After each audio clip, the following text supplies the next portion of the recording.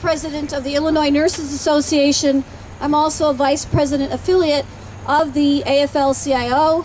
I'm also a member of the Show Me Your Stethoscope organization, which is the major sponsor of the rally today.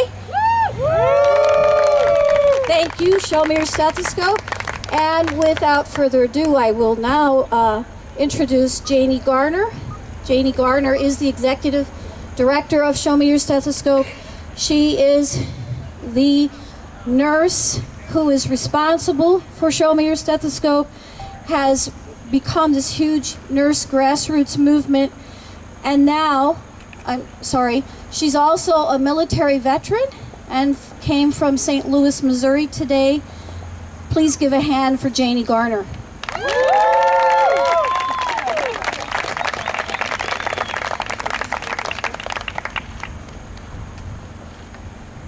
Everybody, welcome to Shift Report. so, it is great to be here today with you, and mostly because what happened at Delnor Hospital can never be allowed to happen again. That's right! I literally can't get through that story when I'm telling it without wiping my eyes because it's so ridiculous and, and frankly I'm afraid. And you should be too because this could happen to you any day. Any day that someone is not watching, decides to go against protocol, doesn't shackle an inmate, somebody comes in drunk on drugs into the emergency department, somebody's upset because their family member died in the ICU, this could happen to you, okay?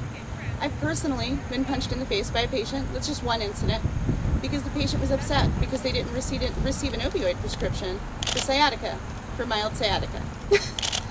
um, and of course, at the time, the police wouldn't arrest the patient, and I was also threatened by my employer about calling the police. This has to stop. We absolutely cannot, ever, allow this to happen again. That's right!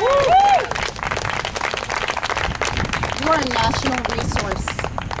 They cannot just get someone off the street to come in and do your job. You're not wiping butts and passing pills. You're critically thinking. You're picking them up off the road. Okay? You may be a physician, you may be a nurse, you may be a paramedic, a radiology technician, pharmacist, but what you are is an integral part of the healthcare machine that has to keep running if people are going to continue to be healthy or to get healthy in the first place, because we know that's a pretty big issue right now in the United States. Talk about Dr. Tam in the Bronx, Dr. Graham in Indiana, the Delnor nurses. That's three months. That is three months, and that's two deaths and two lives changed forever. And when it came out that the nurses were not seriously injured at Delnor, I was so furious that I said words that I promise I will not repeat in front of the children. And I said, we should go there. So, so we're here, and part of part of your job as a nurse is to be an advocate, and any other discipline. Okay, your job is to be an advocate for your patients, but you're never an advocate for yourselves. You need to advocate for yourselves. That's why you're here. People who aren't here, the people like me who came from Missouri and like I think Andrew drove from freaking New Jersey. Okay, um, we're, we're advocates and we understand that it's actually our responsibility to change the policies in healthcare. And then there are the people who are at the nail salon today, three miles from here. You need to put your butt in a chair, get to these events, talk to your legislators, and do what you can do to change things instead of complaining. Do something, change something. Okay? Here, today, we are stopping assaults on medical providers by raising awareness in the community that these things happen because I don't believe your grandmother knows that somebody could drag you off and rape you in a decontamination room. I don't think your grandmother knows that, or I think she would be on the phone with her legislators. Okay, I'm going to keep it short today because we're a little behind in our program. Um, but please, get online, go to showmeyourstethoscope.org, go to Show Me Your Stethoscope on Facebook, go to the um, Silent No More Foundation on, on Facebook, and please get involved with these events. Get involved with raising awareness and stop martyring yourself to nursing. It's not helping. Yeah,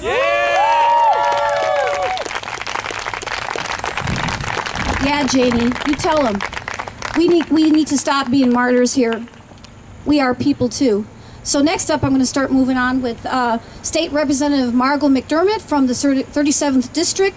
Welcome. She's the first one of several legislators that are here today. We need her voice. She needs to listen to our voices, and we hope she does. Thank you.